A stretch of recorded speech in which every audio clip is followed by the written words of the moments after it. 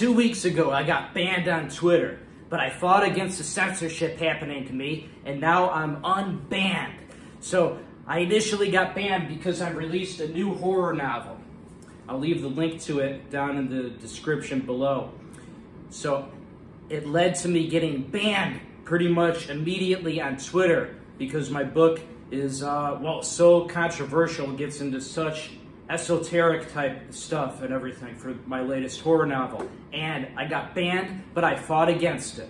I tirelessly fought against it on all the other platforms I'm on, on Rumble, on YouTube, everything else.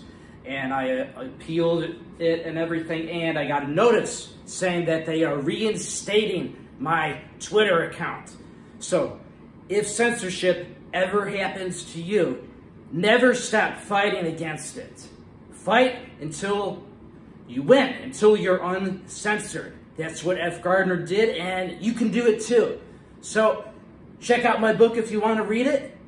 The link is uh, down below in the description below. And that's all for now. I wanted to do this really quick, but big, important announcement saying that, yeah, ultimately, uh, yeah, I'm successful. I'm now unbanned on Twitter after fighting nonstop for myself, trying to defend myself and fight against the censorship. Yeah, well, that's all for now, everybody. Peace out. Bye.